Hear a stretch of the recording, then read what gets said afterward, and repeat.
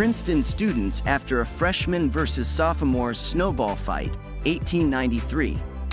Soldier shares a banana with a goat during the Battle of Saipan, 1944.